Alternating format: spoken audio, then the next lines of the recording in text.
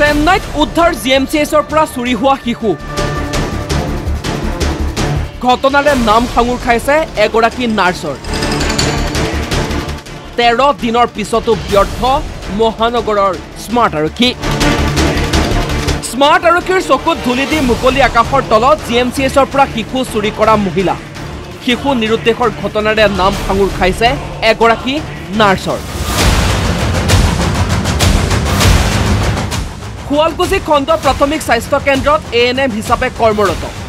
বিভাৰাণী ঠাকুৰীয়া নামৰ নাৰ্ছগৰাকী। ব্যক্তিগত অসুবিধাৰ বাবে একৈছৰ পৰা পঁচিছ এপ্ৰিললৈকে স্বাস্থ্য কেন্দ্ৰত অনুপস্থিত বিভাৰাণী। ছুটীৰ সময় উকলি যোৱাৰ পিছতো কৰা নাই যোগদান।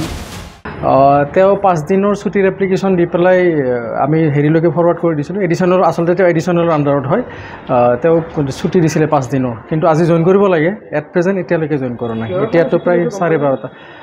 কিবা পাৰ্চনেল প্ৰব্লেম বুলি কৈছিলে কিন্তু এই অভিযোগ পোনচাতেই নাকচ কৰিছে এ এন এম বিভাৰাণীয়ে শুনক দ্য নিউজ প্লাছৰ সাংবাদিকক কি কয় এ এন এম গৰাকীয়ে। আপোনালোকক যি প্ৰমাণ লাগে সেয়ে পাব। মোৰ আহাৰ টিকেট আছে। বৰ্ডিং পাছ আছে মই টিকেট পৰহি কৰা সেই প্ৰমাণ আছে। আপোনালোকে অন্তত বিবেচনা কৰি চাব লাগে যিকোনো নিউজ এটা যিকোনো নিউজ এটা যেনে তেনেকে উলিয়াই দিলে নহয় নহয়। পোৱা নাই মই এতিয়ালৈকে এপলতে আছো। এতিয়ালৈকে হাজাৰটামান আহিল মই তেতিয়াহে গম পাইছো। এতিয়ালৈকেতো মই নিউজো চাব পৰা নাই একো পৰা নাই। উল্লেখ্য যে জি এম চি এছৰ পৰা নিৰুদ্দিষ্ট শিশু উদ্ধাৰ কৰা হৈছে চেন্নাইত। এটা দম্পতীয়ে তুলি লৈছিল শিশুটি।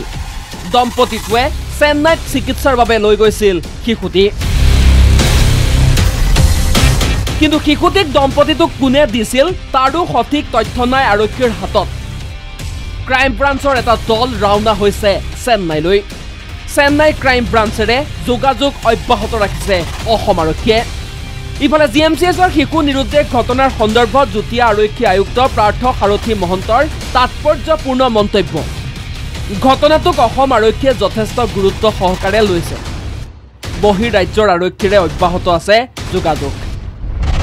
অচিৰে আৰক্ষীৰ জালত পৰিব অভিযুক্ত।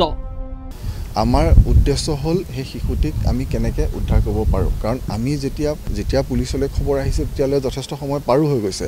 তাৰ পাছতহে পুলিচ নামিছে তদন্তত। সৰ্বান্তকৰণৰে আমি চেষ্টা চলাই আছোঁ কেনেকৈ ক'ব পাৰি। এই ক্ষেত্ৰত অহা কোনো খবৰেকে আমি নেগলেক্ট বা ইগন'ৰ কৰি থকা নাই। নিজা তদন্তৰ বাহিৰেও আমি যিমানখিনি খবৰ আহিছে প্ৰত্যেকটো খবৰে আমি ভেৰিফাই আৰু চেক কৰি আছোঁ।